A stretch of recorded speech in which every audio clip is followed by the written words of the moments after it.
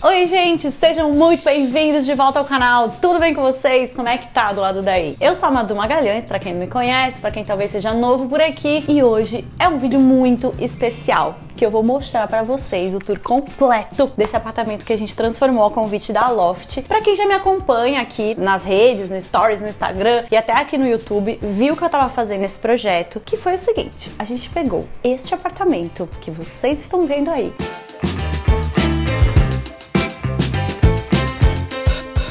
Um apartamento de 42 metros quadrados, apartamento de um quarto e pequeno, e a Loft entregou ele na nossa mão e falou assim, ó, tu tem 30 dias, pouco mais de 30 dias para transformar e fazer o que você quiser. E eu, tipo, mano do céu, que desafio legal. Esse apartamento, ele faz parte de um projeto, que é o seguinte, a Loft tem 15 apartamentos nesse mesmo prédio que estão à venda, e ela pegou três desses apartamentos e deu um para cada designer diferente. Então, um fui eu que fiz, o outro foi o Paulo Biac e o outro foi o Gui o Rafa, que juntos fizeram uma das unidades. Então esse era o nosso desafio, mostrar o que, que pode ser feito nesse apartamento, como transformar ele em um apartamento pronto para morar e ele vai à venda. Esse apartamento aqui que vocês vão ver hoje, entendeu?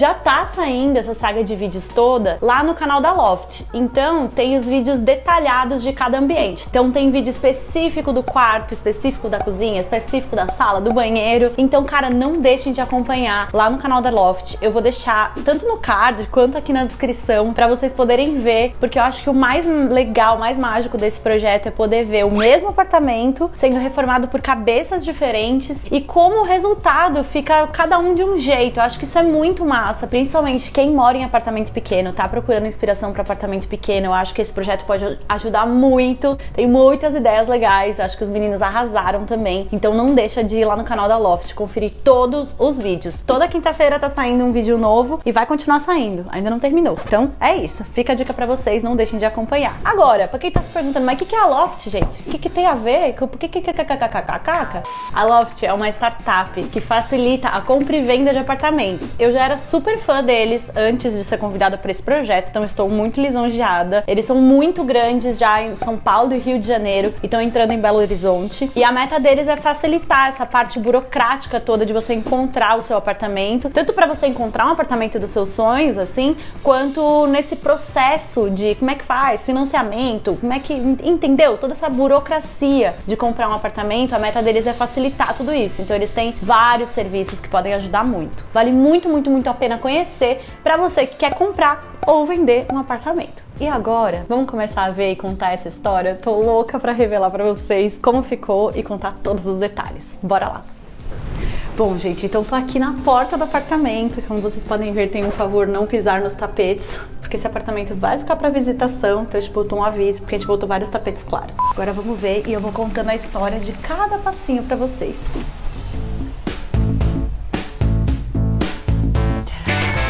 Bom, aqui já temos um primeiro detalhe que tem tudo a ver com o nosso conceito, que é o seguinte. Tá vendo esses desenhos aqui? Eles estão aqui por um motivo, que é o seguinte. Esse apartamento, ele fica na Praça Benedito Calixto, como eu falei para vocês. E quando a gente foi começar a pensar na decoração, a gente queria um ponto de partida. Então eu fui estudar a história da praça e descobri que ela foi fundada pelo Oswald de Andrade. Lembra lá do movimento modernista, Semana de 22 e tudo mais? E eu sou apaixonada pelos modernistas e aí eu falei, caraca, eu quero muito trazer isso para as nossas escolhas aqui de decoração. Um pouquinho disso, né? Então, foi aí que eu estudei a história dele. Aqui é uma caricatura, não é uma caricatura, é um desenho de linha contínua que foi meu amigo Julian que fez, inclusive, Julian Bessos, que eu coloquei aqui bem na entrada, porque ele me deu uma aula sobre modernismo, enfim, várias conversas, ele acabou fazendo esses desenhos, eu falei, nossa, vou botar aqui bem na entrada. Então, nosso primeiro passo foi escolher a paleta de cores. E aí, vendo um pouco da vida do Oswald, eu vi uma relação muito direta dos poemas dele com a Tarsila do Amaral. E aí, até quem acompanhou já viu que lá no quarto eu fiz um quadro em transfer print na madeira, a gente vai ver nesse tour também, que é o Lago da Tarsila do Amaral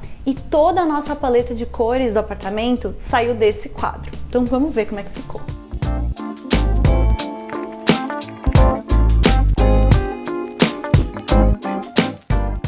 Aqui nessa primeira parte já achei uma dica legal que a gente pintou o teto, toda essa parte de cima de azul, ó, vê se vocês conseguem ver. e também fizemos duas prateleiras para ter um armazenamento a mais aí, um detalhe nesse hall de entrada. E aquela sala que parecia um frigorífico, tá que era toda de lajota tá fria, olha só como ela ficou gostosinha.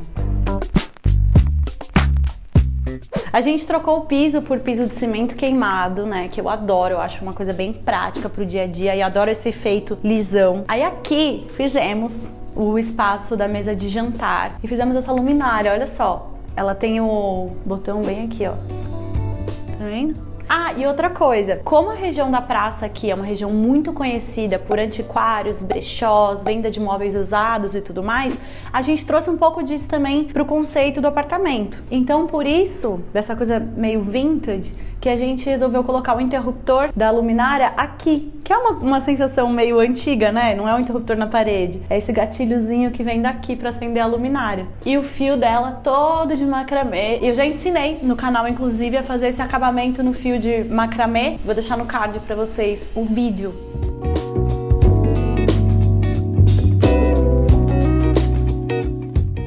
Aqui nessa parede a gente resolveu pintar esse arco com uma bola, também com as cores retiradas lá do quadro da Tarsila. Então, todas as nossas escolhas de cor aí tiveram a ver com esse quadro. Aqui essa cor não vou saber te dizer qual é, porque foi uma mistura de todos os sobras que a gente fez para pintar isso aqui, mas esse verde chama espinafre. Outra escolha que eu achei muito legal, assim, muito importante desse ambiente foi esse sofá.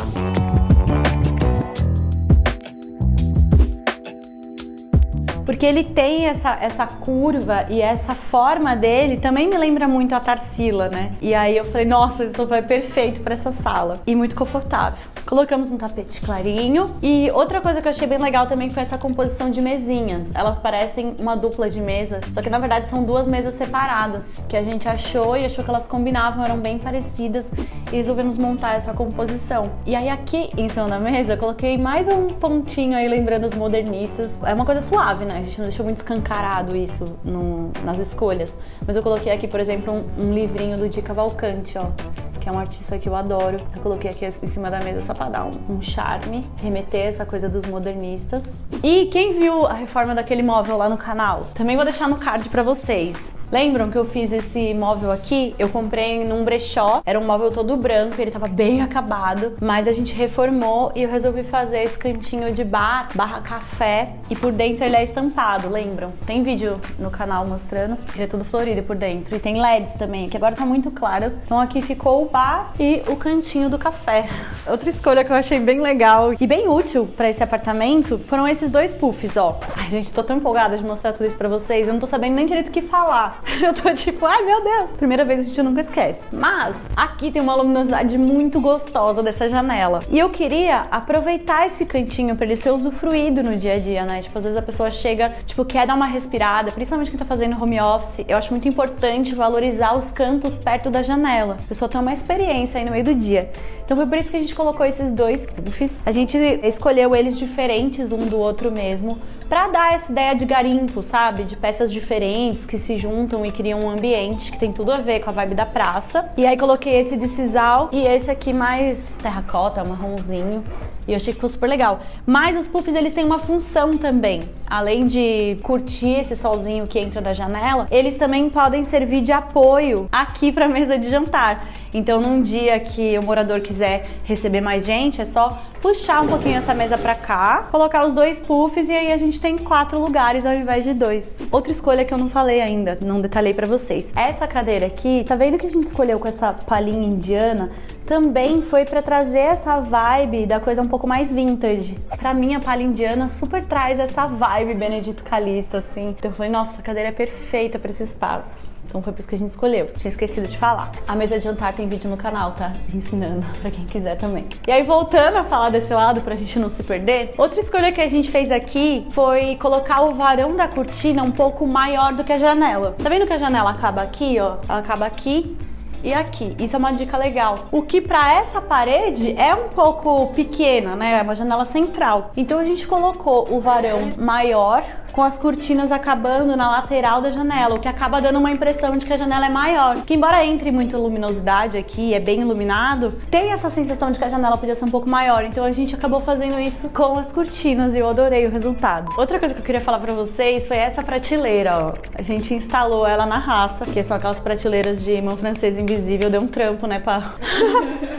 e a gente resolveu instalar ela com alguns objetos em cima, deslocada do centro. Eu não sei porquê, mas eu achei que isso tinha a ver, assim, com essa vibe do modernismo, essa coisa meio desconectada e tudo mais, nada muito certinho. E então a gente fez essa composição da prateleira com o arco, assim, sabe? Me deu uma sensação de meio de estar tá abraçando. Entendeu? Entendeu?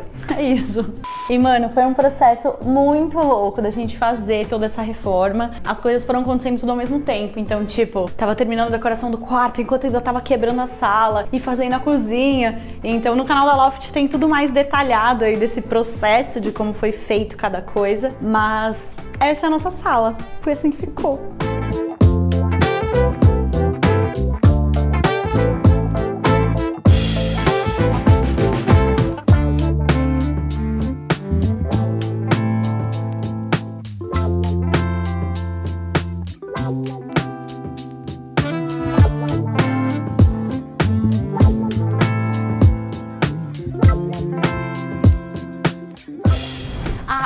Coisa que eu achei legal de mostrar para vocês é que a gente resolveu colocar aqui na parede três telas sem moldura mesmo, porque eu acho que deixava o visual mais clean. Às vezes quando você coloca moldura, dependendo da proposta, pesa um pouco. Então a gente decidiu colocar esses desenhos bem minimalistas, sem a borda mesmo, né, sem moldura. Eu achei que ficou bem legal a composição com o sofá. Essa luminária da Leroy Merlin, que eu sei que vocês vão perguntar, super, ela é maravilhosa. Essa luminária douradinha para trazer um pouquinho de glamour, né, quebrar essa coisa do brechó brechó, enfim, a gente fez uma mistureba. Não sei nem te dizer que estilo que tem aqui.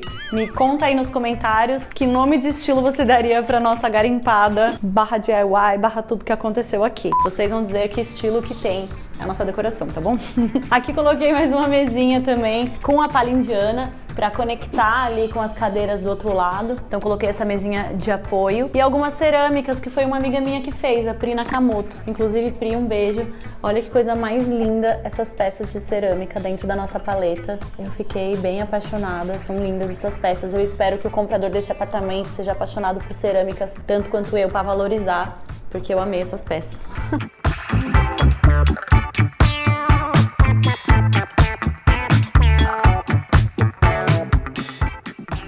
vamos para, eu acho que é a minha peça favorita. Tô até com meu coração batendo mais forte aqui. Vamos pro quarto e contar essa história para vocês. Chega aí. Não mostra o banheiro ainda. Passa pro quarto.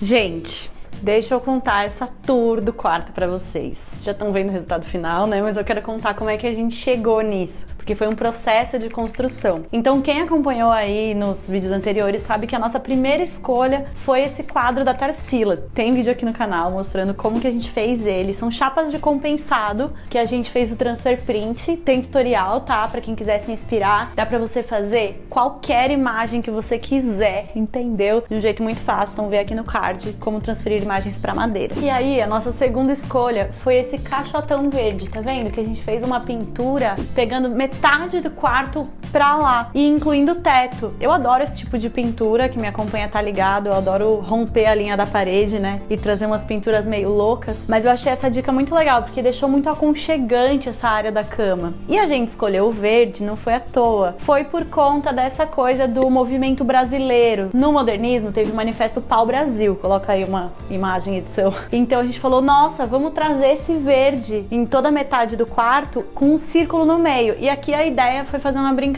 e remeter um pouco a bandeira brasileira de uma forma desconstruída. Então por isso que a gente escolheu esse tom para pintar a bola no meio que fosse clarinho, para remeter um pouco ao amarelo. Eu sou super da decoração mais borro, né? Mas dessa vez eu queria transformar em um borro Brasil. E aí, outra coisa que eu achei que é uma dica muito legal foi o armário com as portas espelhadas. Olha o efeito que dá da decoração refletida aqui. Parece que o, que o quarto é muito maior, né, do que ele realmente é. Então escolhemos é, o armário. Foi, foi assim, né? Foi a pintura, depois a bola, depois o armário. E aí vem a história dessa cabeceira aqui. Gente, vocês sabem o que era isso aqui? Era uma maca de massagem muito antiga da minha mãe. Acho que tem uns 10 anos que ela tinha uma maca de massagem encostado, que ela não usava mais. E tava lá na minha casa na lista de coisas para reformar, né? De coisas para virarem coisas legais. E eu falei, meu Deus, é a chance de usar essa maca e transformar ela numa cabeceira. E aí a gente hum, reformou ela, ela era branca, tava bem desgastada, a gente fez todo um processo e transformou ela nessa cabeceira marsala, puxando esse tom aqui da pintura. E eu achei que ficou muito legal isso como cabeceira. Foi uma das peças que eu amei assim nesse quarto. Aí, vamos para o outro lado. Aqui vocês acompanharam a transformação desse móvel que era uma mesinha de cabeceira bem simples, assim, ela era mogno e que eu transformei para essa versão que eu amei. Eu amei essa, esse móvel que era tão simples e ele acabou virando uma peça super legal com os puxadores dourados. Também vou deixar aí o vídeo para vocês, que é uma maneira de você ter uma mesa de cabeceira super legal, gastando pouco, transformando um móvel comum em um móvel mais estiloso como esse. Outra coisa que eu queria mostrar nesse cantinho é essa luminária. Olha só, é um molde de sapato, sabe? De sapateiro assim, um molde de madeira que tem a luz instalada aqui e a gente pintou de verde, que foi o resto dessa tinta, na verdade, que a gente usou para ficar mais monocromático aqui, né? Não ter pontos de chamar atenção em cores diferentes. Então a gente acabou pintando da mesma cor da mesinha de cabeceira. E eu amei essa luminária. Nesse canto temos capim dos pampas. Por quê? Porque eu sou a louca do capim dos pampas, vocês estão ligados? Para mim é difícil não colocar um capim dos pampas na decoração, não é mesmo? Então lá está a minha marca registrada.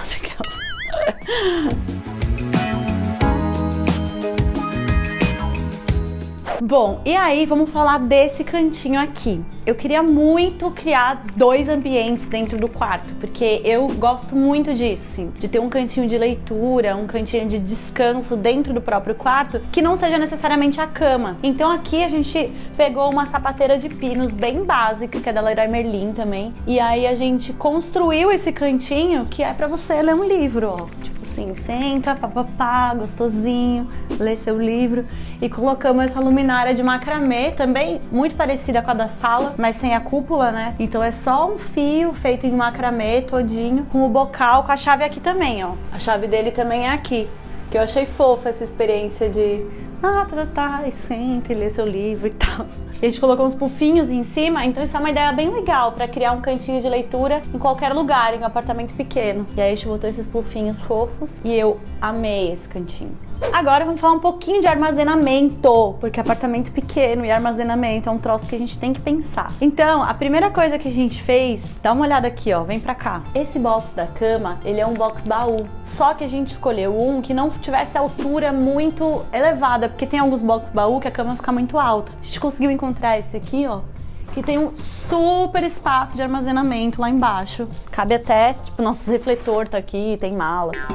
E aí é só você baixar, ó. Você consegue guardar toda a rouparia de cama, toalha, mala de viagem, um monte de coisa. E a gente conseguiu mais armazenamento. Outra peça que a gente colocou foi essa daqui, ó, que é uma cômodazinha que eu achei bem legal com esse efeito meio patinado, tá vendo? Que tem um pouquinho de cor bem suave nela, mas o que mais sobressai é a madeira mesmo. E aí também então tem mais três gavetas aqui para gerar armazenamento, com coisas minhas, inclusive.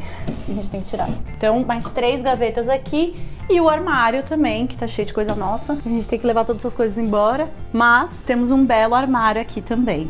Então esse é nosso quarto! Eu tô muito feliz! Vamos mostrar os takes aí, bonitões, pra vocês verem. Yes! Arrasamos. Deu trabalho, mas foi muito legal.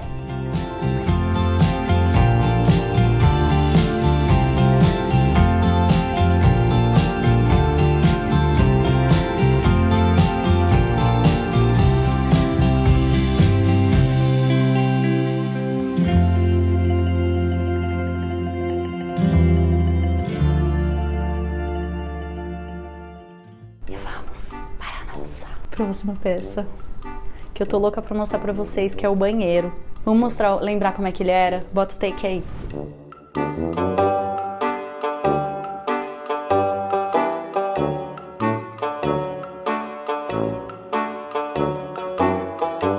Só vem. Gente, olha o que a gente fez no banheiro. Ah, uma coisa importante. Banheiro, para mim, é meio espaço santuário. É um único momento, talvez não o único, mas é um momento que eu costumo não pegar o celular, que a gente vai tomar banho e tudo mais. Então, para mim, o banheiro, em geral, ele tem que ser um espaço de conexão com você mesma, fazer seus day spa e tudo mais. Então, foi isso que a gente fez aqui. Olha só. Para começar, a gente tinha uma questão aqui que era a pia. Como fazer um gabinete que coubesse nesse espaço que é bem reduzido. Então, tem vídeo aqui no canal de como é que a gente fez esse gabinete, já saiu também, vou deixar no card ou na descrição, porque eu não sei se vai caber tudo no card. A gente fez esse gabinete a partir de um armário que a gente achou em um brechó e a gente reformou, ó, para ter armazenamento, não é mesmo? E eu fiquei muito feliz. Esse é o mesmo azul que tem na sala, chama Vista Divina da Souvenir, que eu sei que vocês vão perguntar também. E aqui, no meio da nossa obra, gente, isso aqui era azulejo, tá? As paredes eram tudo azulejo. Só que quando a gente foi remover o piso, soltaram os azulejos da parede, porque era muito antigo. O que foi uma sorte, né? Se não tivesse acontecido isso, a gente não ia saber. Então foi isso, quando removeu o piso, começou a cair os azulejos. A gente falou, não, para tudo, vamos ter que remover os azulejos até o teto e criar outra solução. E foi aí que veio a ideia de então vamos pegar os cimentos queimado do piso e vamos subir nas paredes até o teto. E isso acabou trazendo mais ainda essa vibe zen aqui pro nosso banheiro. Então, coisas que a gente tinha que pensar, problemáticas. A janela é bem em cima do lugar da pia. E aí a gente falou, mano, como que a gente vai fazer com o espelho? E aí foi aí que veio essa solução, ó. Passa pra cá. Foi por isso que eu acabei criando esse espelho de quina e ficou uma experiência muito legal. Porque quando você tá dentro do box, que é onde vocês estão agora, no caso, você fica vendo o reflexo do paredão de plantas, sabe? Eu achei isso uma experiência muito legal. E por ter feito essa quina, eu falei, nossa, então vamos fazer uma prateleira em cima também para colocar alguns elementos, algumas plantas.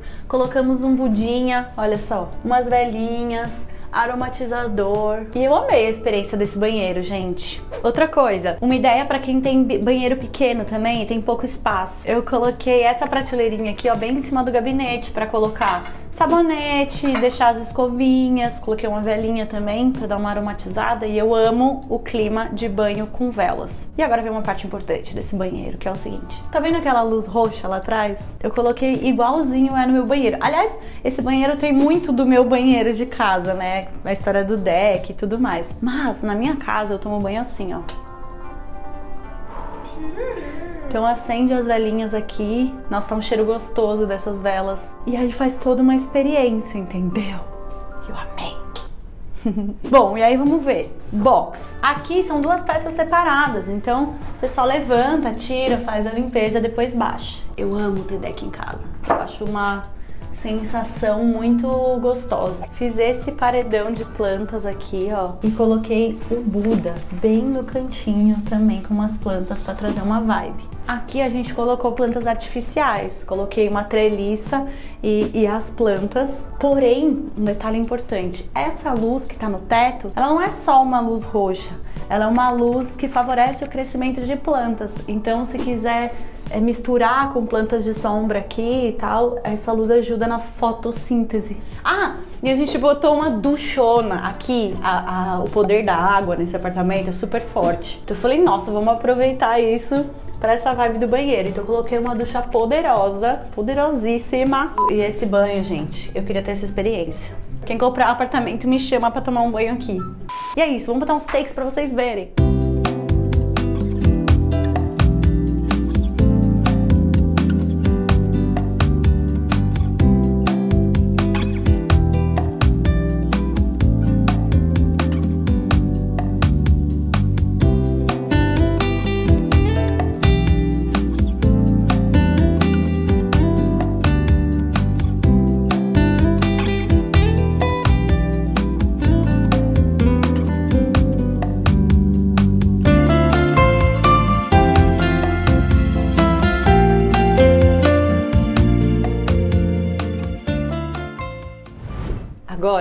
Cozinha, nosso último cômodo. Só que antes da gente entrar na cozinha, claro, vamos botar o take do antes, né? Pra vocês relembrarem.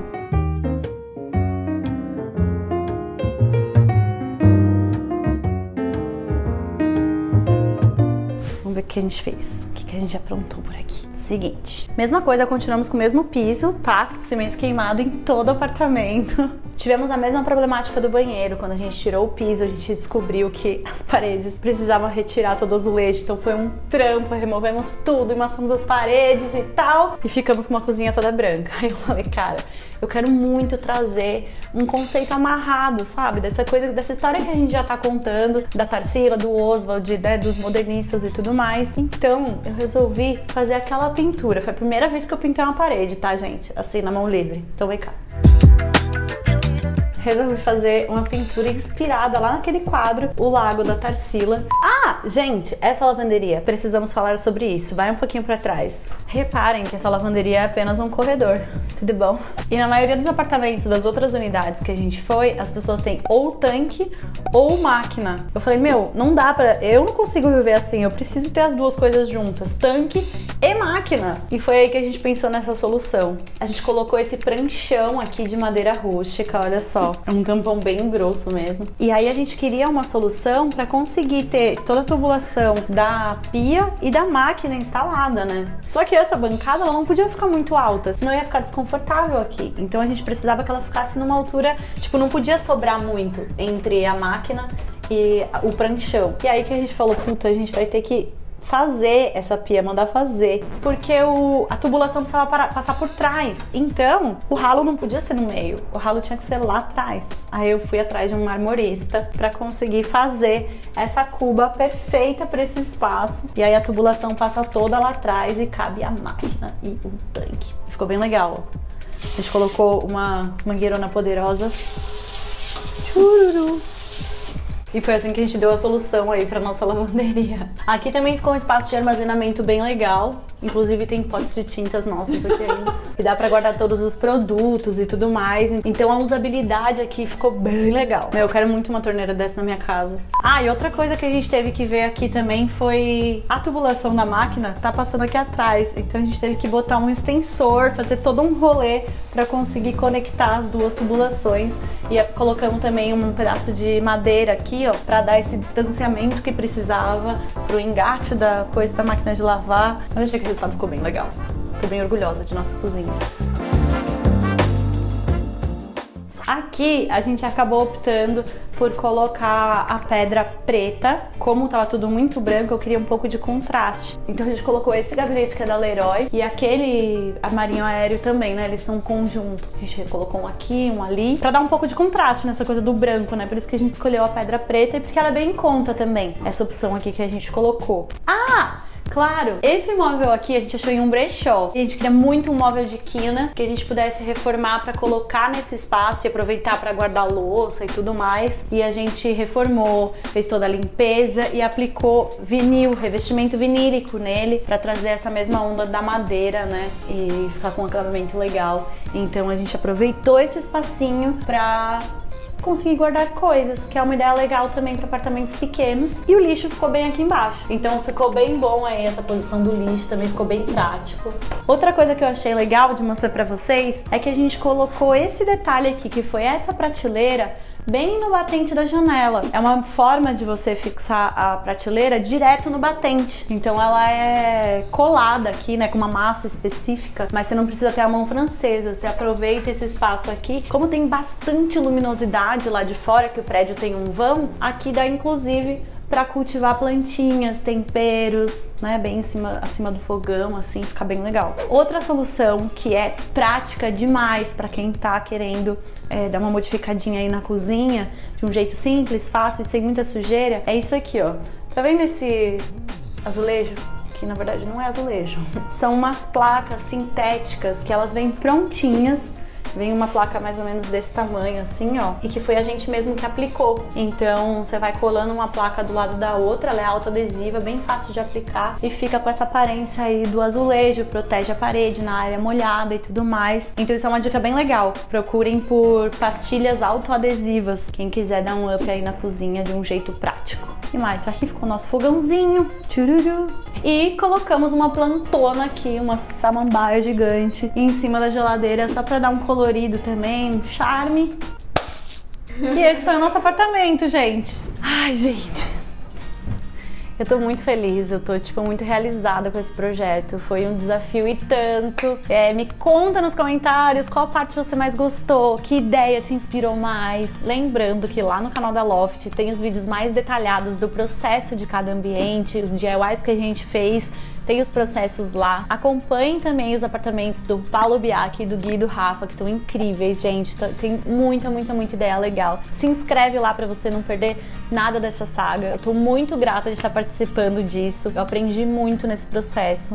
Nunca tinha feito tanta coisa muito mais num espaço de tempo tão pequeno. Foi muito inspirador, foi muito gostoso. Uma maratona maluca, que quem me acompanha nos stories tá ligado. E é nóis, gente. É nóis, um grande desafio, uma nova fase. Tô muito, muito, muito feliz.